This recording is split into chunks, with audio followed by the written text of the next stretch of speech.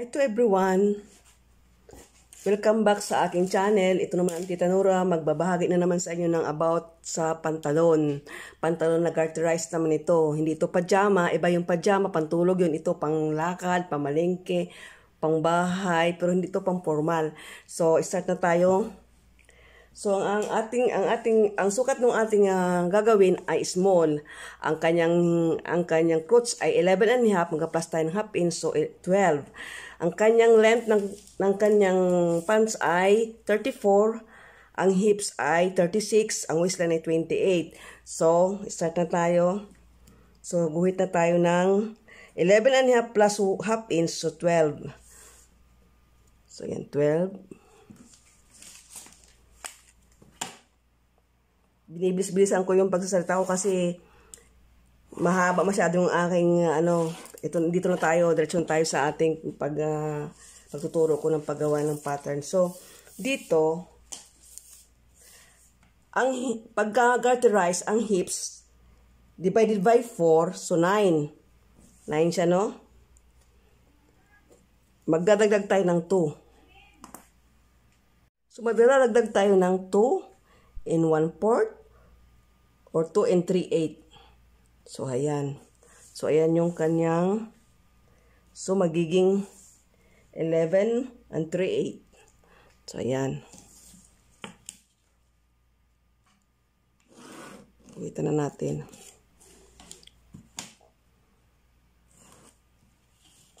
And then, tapos na tayo sa hips. I-guhit natin pataas doon kung ano yung uh, sukat dito sa hips. Yun din ang sukat doon sa taas. Sa waistline niya. Pantay lang yan. So, ang gagawin natin dito, paano natin makuha ang pundiyo? Ang pundiyo ay i-divide mo ang hips. 1 fourth ng hips ay 9 divided by 4. So, divided by 4. So, ang magiging ang magiging isang, uh, isang bahagi ay 2 in 1 fourth. So, ayan, 2 in 1 fourth.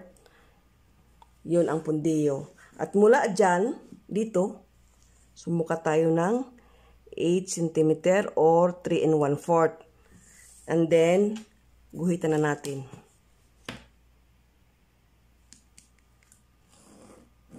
Yan. So, pagharap, pantay lang yan, pantayan. So, ayan. Ngayon, dito na tayo sa baba. Ito ay 2 2 and half. 2 and half. Yan. 1 fourth ng hips. Ito naman ay 1 fourth ng hips divided by divided by 1 fourth ng hips plus 2 in half plus 2 in half. Hips divided by 4 plus 2 in half. Ayan. So, ayan. Dito na tayo sa bottom niya. Sa bottom niya, ididiretso natin yung guhit na ito. Yung guhit na yan, ito, ito. Sukat ng hips natin, idiretso natin dito sa baba. Susukatin natin yan. Hanggang dito sa baba. Ayan. So, guhit guguhitan na natin. Didiretso lang natin yung guhit na yan. So, ayan. Yung ating So, ayan na yung ating guhit.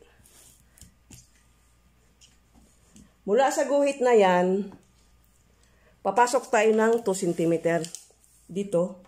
Pasok tayo 2 cm or 3 4 So, ayan. So, ayun yung 3 port. Mula dito, sa pundiyo, yan, pundiyo, guhit natin, pababa doon sa ating ipinasok na 3 4 para makuha natin yung bottom niya. So, ayan. So, ayan. So, ayan, may kortina. So, ang bottom natin ay 16. So, 8 yan. So, ang gagawin natin dito, sukat tayo ng 8. Mula doon sa pinasok nating 3-4, sukat tayo ng 8. Ayun, 8. At mula dito sa crotch line, kuwit natin doon sa ating ipina, sa ating sukat na 8. So, ayan.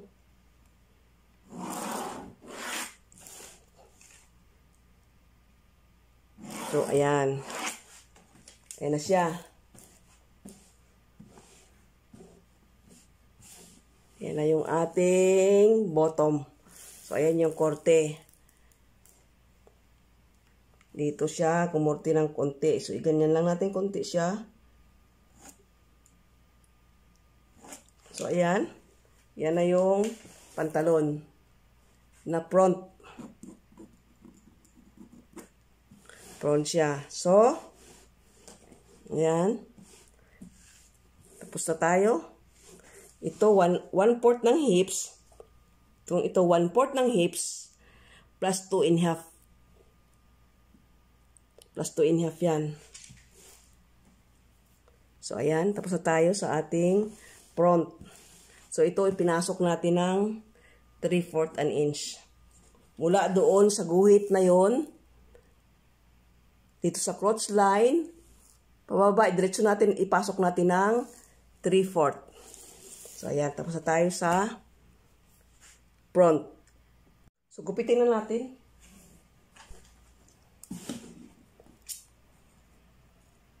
Wala tayong itinaas, ibinaba dito ha. Basta nagdagdag lang tayo. So, ayan.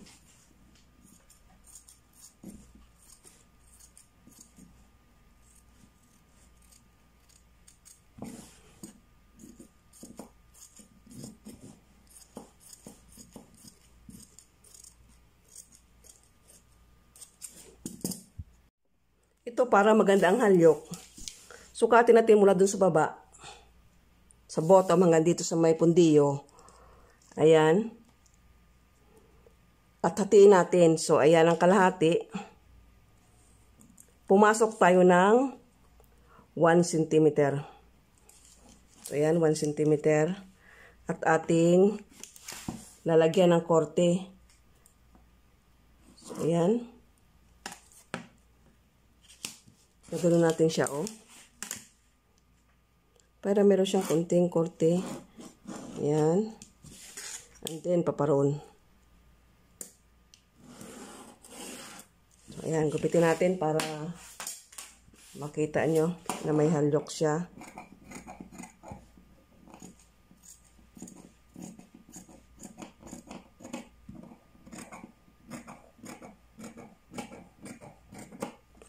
So, ayan na yung kanyang nagupit na siya. So, ayan na yung front. Tapos na tayo sa front. Sa back naman tayo. So, sa back, ito, ganun ang gagawin natin. Ang kanyang crotch line ay 12 from waistline. Doon ulit tayo. Ayan. Suguhit ulit. Grab nyo itong aking pagtuturo na ito sapagkat ito ay malaking maitutulong sa inyo ito pag natuto kayo.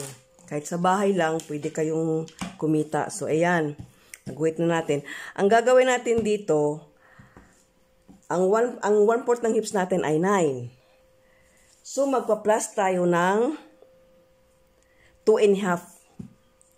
So, 9, one fourth ng hips natin ay 9 plus 2 and half. Sa likod, ah, sa harap, 2 lang siya. Dito naman ay 2 and half. So, ayan.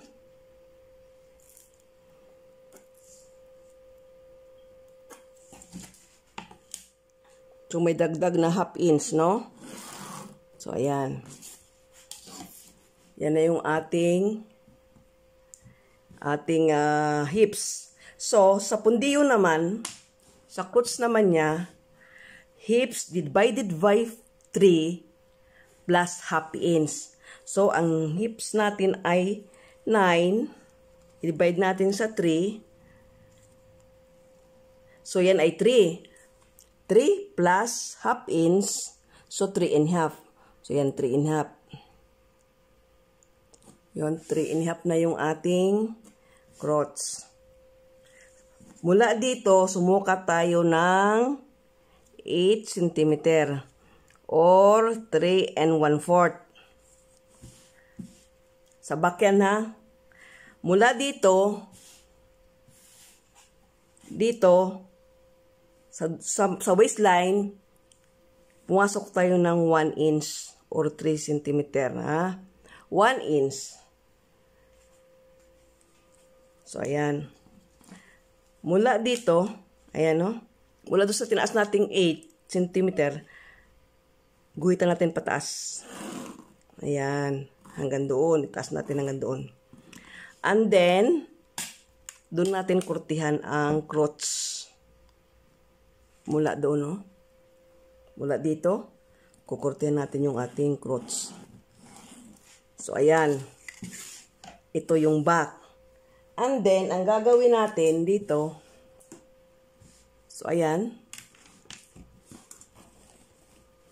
So ayan dito.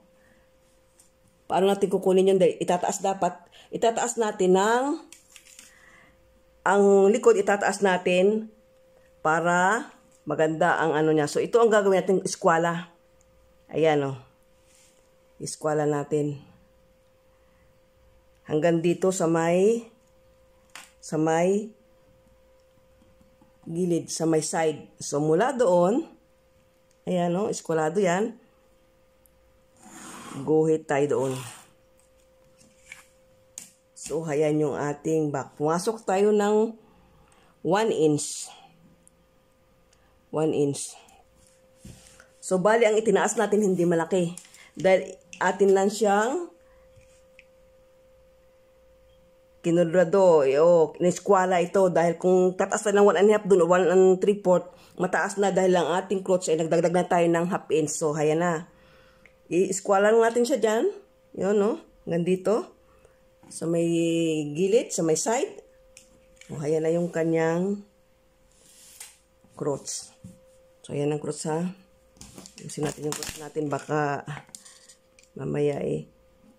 Kailangan dito diretso Diretso lang siya, oh. Diretso lang siya. Katapos dito lang kumurba pataas. So, ayan na. So, dito na tayo sa bottom niya. Sa baba. Dito na sa bottom tayo. So, sa likod, ididiretso natin yung yung hips, yung guhit ng hips natin. So, 11 and a half, 11 and a half din doon. Ayan, idiretso natin.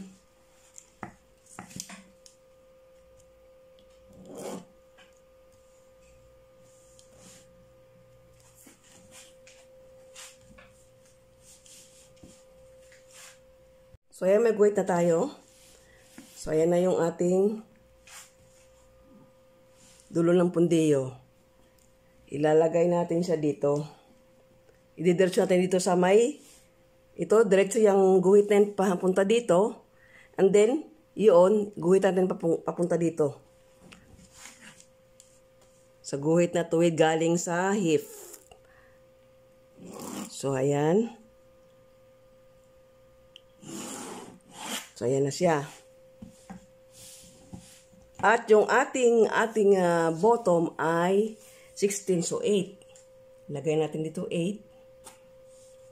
And then mula doon, dito, mula dito sa crotch line, guguhit tayo. So, guhitan na natin siya para malagyan natin ng korte yung ating pantalon. So, ito ay pantalon na garterize. Ayan. So, ayan yung ating pantalon.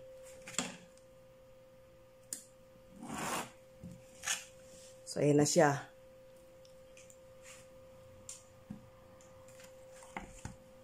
Kunting korte dito. So, ayan. Ayan yung ating back. Ito ay 1 port ng hip. Hip plus 2 and a half inches. 2 and a half inches. Ito naman, one-third o one-third ng one-fourth ng hips. Itong hips na 9, i-divide mo sa 3, yan yung kanyang pundiyo. Magpapas ka lang ng half inch. So, magiging 3 and half siya. 3 ang kalahat, ang ikatlong bahagi ng 9. So, plus half inch, so 3 and half. And then, doon sa bottom, 8 inches. So, ayan, yari na yung ating ating back.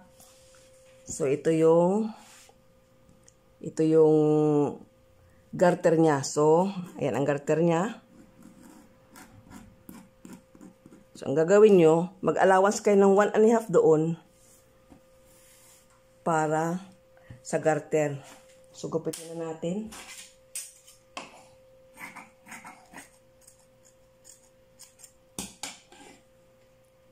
So, itong back, tapos na tayo sa back. Ang gagawin natin, hatin ulit natin yan, no? 22. So, 11. Pumasok naman tayo dito ng 1 and 1 4 centimeter. 1 and a half centimeter. So, ayan.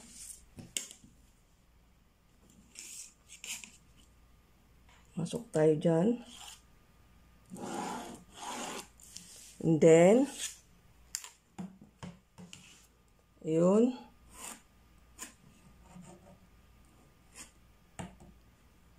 Yun. Ayan, atin naman siyang gupitin ngayon.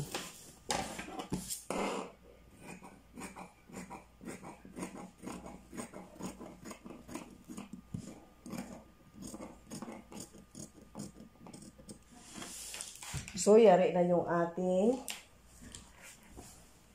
ating pattern. So, ayan yung front. Ito yung back. So, ayan ang back. Ayan, back. Mataas siya doon. Ito ang front. So sa back, nagbawas tayo ng 1 inch doon, pumasok tayo. Ito naman hindi, diretso lang ito. Kung ano yung sukat ng hips dito, diretso lang, diretso din sa tagiliran. So ayan, yari na yung ating garterized na pantalon. So ayan, mas malaki ang likod kaysa harap. So ayan siya.